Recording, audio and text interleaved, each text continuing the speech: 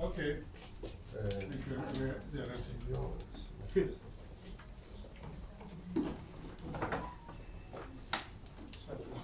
it's myself first. okay. Mr. Secretary, Mr.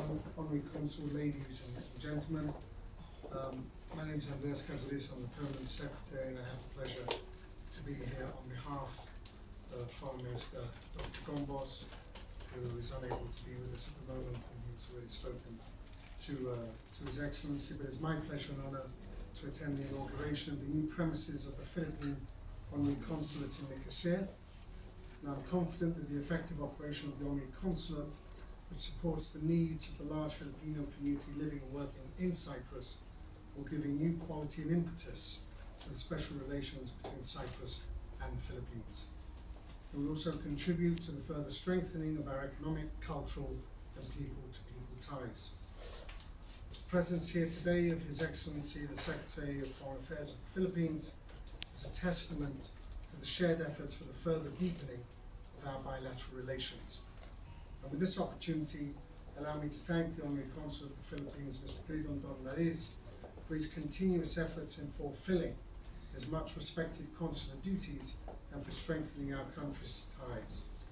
You can be assured to always have the support of the Ministry of Foreign Affairs of the Republic of Cyprus and the relevant authorities for the successful implementation of the important mission of the Honorary Consulate. Once again, I congratulate you, Mr. Secretary, Honorary Consul, on this important occasion, and I wish a bright future and a true and lasting friendship between Cyprus and the Philippines. Thank you.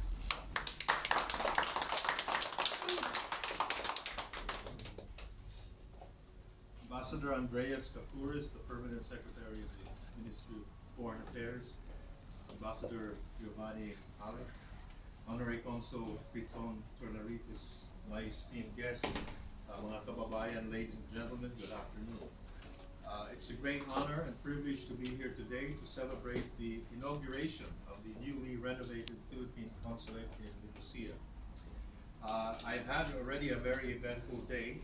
I've had meetings with uh, President uh, Christodoulides, uh, President of the Parliament Demetriou, and Minister Kombos. And our discussions centered on exploring avenues, various avenues, for enhancing our bilateral relationship, uh, especially the economic cooperation, cultural exchanges, and of course support for the 18,000 strong uh, Filipino community in Cyprus. These meetings underscored the shared commitment of both our countries to deepen our relationship and partnership, as well as collaborate on areas of mutual interest. Our two maritime nations have significant common interests. Cyprus with the third largest fleet in the European Union and the Philippines providing a quarter of the world's seafarers, therefore share a common bond of maritime affairs. And now we are here at this event, which signifies, signifies not only the uh, improvement of the facilities available in the continent, but also the strengthening of the commitment to serve our Filipino community in Cyprus with greater efficiency and, of course, uh, dedication. Our presence here today also highlights the importance we place on providing essential services to our fellow Filipinos.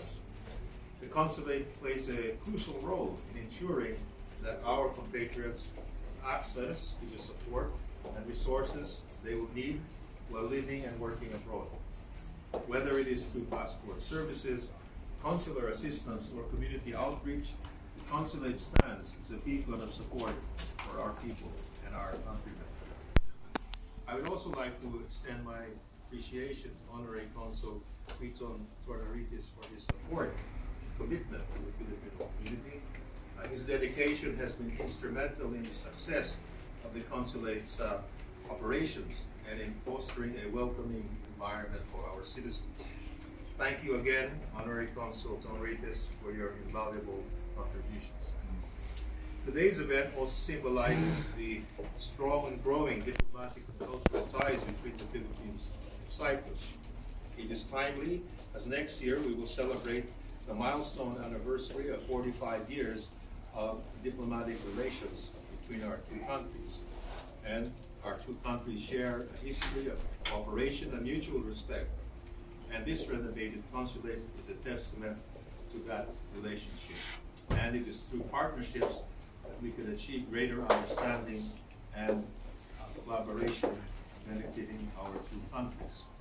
I'm also glad that I've been here to open the uh, honorary consulate. Uh, and this uh, coincides my visiting Cyprus. I'm the first uh, Philippine foreign minister to have visited Cyprus ever since we established our official diplomatic relations. And certainly I consider it a- an historic opportunity to also have been witness to this event today. So may this newly uh, renovated consulate be a symbol of our mission to serve with excellence and compassion. Uh, again, the consulate is not just a building, it is a place of refuge, a center for community, and a bridge between our two nations. And we are committed to ensuring it remains a vibrant and effective institution that truly serves the needs of our fellow Filipinos. And I'm sure that uh, this will have a positive impact in our community here in Cyprus. So let us continue to work together to build stronger connections, provide greater and exceptional, exceptional service, and uphold the values that bind our nations. Maraming salamat po at mabuhay tayong lahat. Thank you very much.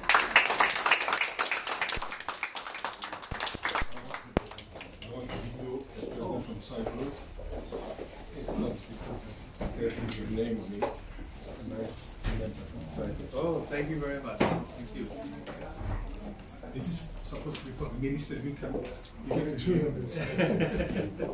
And this is for my very good ambassador. Thank you. Thank you so much. It's a nice present. Even your name is Oh, thank you. Can we have a photo with my wife? Yes. Yes.